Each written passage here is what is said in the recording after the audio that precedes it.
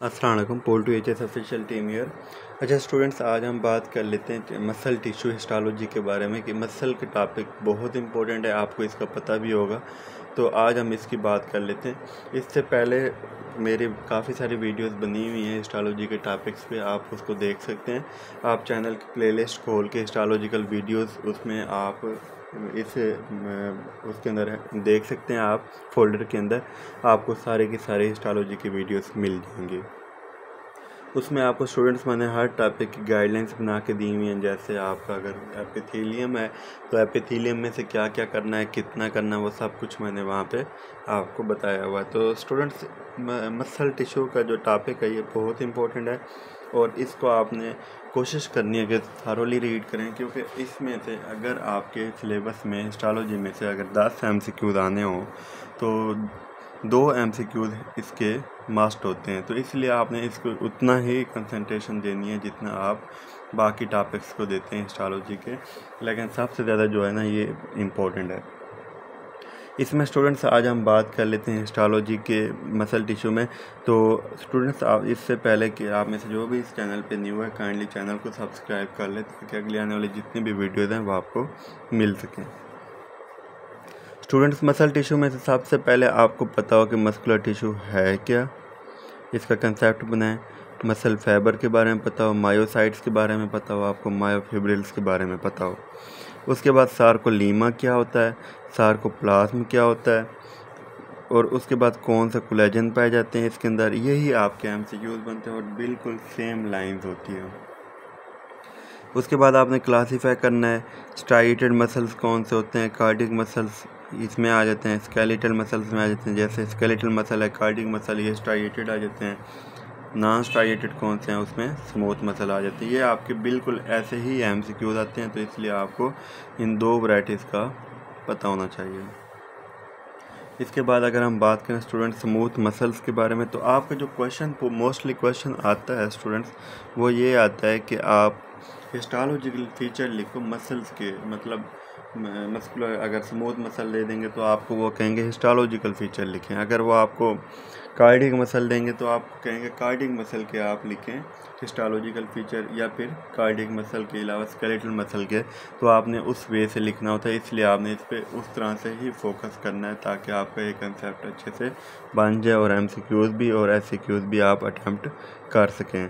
तो इसमें अगर हम बात करें स्टूडेंट्स के कौन कौन से होते हैं हिस्टोलॉजिकल फीचर्स तो उसकी हम बात करते हैं तो उसमें आ जाता है सबसे पहले स्मूथ मसल, जिसमें विसरल मसल्स आ जाते हैं। विसरल मसल्स का ये होता है कि स्टूडेंट्स अगर आपको आते हैं विसरल मसल्स का पता हो, क्योंकि ये मोस्टली एम सी पूछे जाते हैं। विसरल मसल्स वो होते हैं जो विसरल आर्गन्स के अंदर होते हैं, या विसरल आर्गन्स के अंदर होते हैं। तो इसलिए आपको इन चीज़ों का पता होना चाहिए, ताकि आप इसको ईज़िली सॉल्व कर सकें। उसमें ये आ जाता है कि जैसे स्मूथ मसल्स है, इसमें देखें। स्मूथ मसल्स का आपको पता हो कि कौन से होते हैं, इसमें कौन से फ्यूजी फार्म स्पिंडल शेप्ड हैं थिक हैं, ये सब कुछ आपको पता होना चाहिए, इसमें से सबसे ज़्यादा। और मोजैक लाइक अपेरेंस होनी चाहिए गैप जंक्शन ये सब कुछ देख लेना। सार्कोलीमा के बारे में आपको पता हो एक्सटर्नल लेमिना के बारे में पता हो, इस तरह से करके आपको इसका पता होना चाहिए, ताकि आप इसको ईज़िली सॉल्व कर सकें। इसके अलावा स्टूडेंट्स हम बात कर लेते हैं न्यूक्लियस के बारे में तो ये आपने सारा का सारा रीड करना है। बस हिस्टोलॉजिकल फीचर्स का आप टेबल बना लेंगे, इसमें से ढूंढ लेंगे पॉइंट्स और निकाल लेंगे और निकाल के साइड पे लिख लें ताकि आप जब भी अगर इसके क्वेश्चन आए तो आप लिख सकें। इसमें आप तीन फिलामेंट्स को देख सकते हैं स्टूडेंट्स थिक फिलामेंट्स को देख सकते हैं। नार सप्लाई स्मूथ मसल्स को देखें तो उसमें मल्टी यूनिटरी स्मूथ मसल्स आ जाते हैं। यूनिटरी स्मूथ मसल्स आ जाते हैं। ये आपको मोस्टली डिफरेंस पूछा जाता है आपस में। तो आपको ये आना चाहिए, यूनिवर्सिटी क्वेश्चन है आपका। फ़ंक्शन ऑफ़ समूद मसल तो इम्पोर्टेंट है, आपको पता ही है, इनको करना ही करना होता है, लाजमी करें इसको फ़ंक्शन ऑफ़ समूथ मसल्स को। इसके अलावा अगर हम बात करें स्टूडेंट्स तो इसमें देखें स्केलेटल मसल की बात कर लेते हैं। स्केलेटल मसल में आप देखें तो एपीमाइसियम के बारे में पता हो, आपको पेरीमाइसियम के बारे में पता हो एंडोमाइसियम के बारे में पता हो तो ये आपने लाजमी करना है। मसल फाइबर का पता हो स्केलेटल का। स्केलेटल मसल फाइबर में से आपको ये पता हो कि स्केलेटल मसल फाइबर में सेल मेम्ब्रेन सार्कोलीमा ये सारा टॉपिक इंपॉर्टेंट है। इसमें से सबसे ज़्यादा जो इंपॉर्टेंट है स्टूडेंट्स आपसे पूछा जाता है, वो सार्कोप्लाज्म इसको आपने रीड कर लेना है यहाँ से। इसके बैंड्स ये सारे इंपॉर्टेंट है। A band dark band light band इसमें से आपका एक एम सी क्यूज़ लाजमी आता है। तो इसलिए आपने इसको अच्छे से करना है। मायोफिब्रिल्स का पता हो आपको इसके बारे में। और बाकी जो पोर्शन इसका स्केलेटल मसल का स्टूडेंट्स आ जाता है। उसमें हम देख लेते हैं कि उसमें से क्या क्या करना चाहिए। तो ये देखें इसकी डायग्राम में। अल्ट्रासोनिक स्ट्रक्चर में आप मायोफिब्रिल्स की अगर हम बात करते हैं तो उसमें थिक मायोफिलामेंट्स और थिन मायोफिलामेंट्स आ जाते हैं। थिक मायोफिलामेंट्स को देखने हैं, कौन से टाइप्स के होते हैं? मायोसिन मायोसिन लाइट चेन ये सारे आपने देखने हैं। मायोसिन लाइट चेन कौन से हैं? ये डायग्राम आपने लाजमी देख लेने अगर आप ये डायग्राम कर लेते हैं तो आपका कंसेप्ट बिल्ड हो जाएगा, ये वाली भी। और आपको स्केलेटल मसल की समझ आ जाएगी, और इसका एम सी लाजमी आता है, इसलिए आपने इसको लाजमी करना है। इसके बाद थिन मायोफिलामेंट्स को भी आप रीड कर लेंगे यहाँ से, क्योंकि थिन मायोफिलामेंट्स भी मोस्टली आपसे एम सी क्यूज़ में इसमें से पूछे जाते हैं। और ये trop T, trop I N trop one ये सारे आपने यहाँ से रीड करने, ये एम सी क्यूज़ हैं आपके।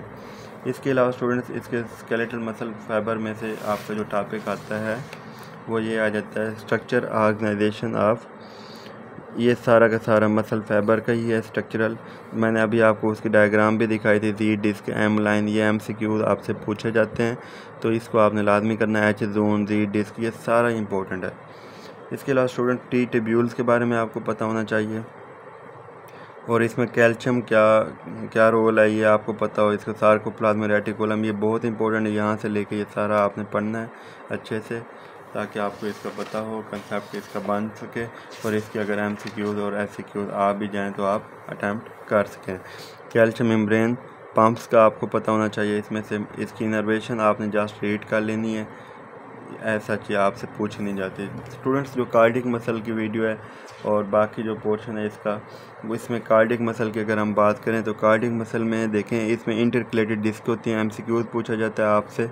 और कार्डिक मसल सेल्स का आपको पता हो, इसमें न्यूक्लियस का पता हो सार्कोप्लाज्म का पता हो आपको कि इसमें क्या क्या होते हैं। इंटरकलेटेड डिस्क इसकी इंपॉर्टेंट है, जो आपसे मोस्टली एम में पूछी जाती हैं। तो आपने इसको इस वे से करना होता है कि आप इसको अटैम्प्ट कर सकें इंटरकलेटेड डिस्क इसके अलावा अगर हम डेस्मोसोम्स की बात करें स्टूडेंट टी ट्यूब्यूल्स हैं एंड सार्कोप्लाज्म रेटिकुलम है, जिसमें टी ट्यूब्यूल्स कार्डिंग मसल्स आ जाते हैं। ये सारा आपने रीड करना है। इस डायग्राम को देख लेना है। यहाँ से समझ आ जाएगी। इसके बाद आप रिपेयर देख सकते हैं। ये रीड करने हैं जस्ट आपसे ये पूछा नहीं जाता वैसे। आपने ये पोर्शन सारा रीड करने वाला है आगे। लेकिन कार्डिक मसल को आपने कर लेना ताकि आपको अगर डिफरेंशियल फीचर आपसे पूछे जाएँ तो आप उनको अटैम्प्ट कर सकें। तो यहाँ तक आपका स्टूडेंट्स ये चैप्टर ख़त्म हो जाता है। तो उम्मीद है आपको इसकी समझ आ गई होगी। थोड़ा स्पीडली काम किया ताकि वीडियो थोड़ी लेंथी ना हो जाए और आप इजीली एक ही टॉपिक में, एक ही वीडियो में आप पूरा चैप्टर देख सकें गाइडलाइंस तो स्टूडेंट्स आप में से जो भी इस चैनल पर न्यू है काइंडली चैनल को सब्सक्राइब कर ले, ताकि अगले आने वाली जितनी भी वीडियोज़ हैं, वो आपको मिलती रहें। तो स्टूडेंट्स उम्मीद है कि आपको इसका कोई फ़ायदा हो रहा होगा तो इसलिए आप चैनल को सब्सक्राइब भी कर लिया करें और अपने फेलोज़ के साथ शेयर भी किया करें और लाइक भी कर लिया करें, क्योंकि आपको एक ही वीडियो में एक ही चैप्टर की गाइडलाइंस मिल जाती हैं और जितना आपको बताता हूँ, इतना कर लिया करें, आपके लिए इनफ है। जब ये कर लें, उसके बाद बाकी पोर्शन कर लें तो फिर भी कोई इशू नहीं है। एम सी क्यूज़ आपके एस सी क्यूज़ ईज़िली हो जाएँगे आपके। ओके अल्लाह हाफिज़।